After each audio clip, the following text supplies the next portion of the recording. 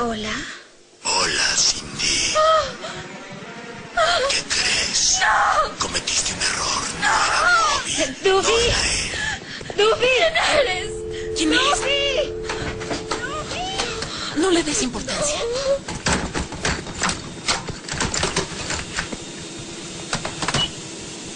Hola.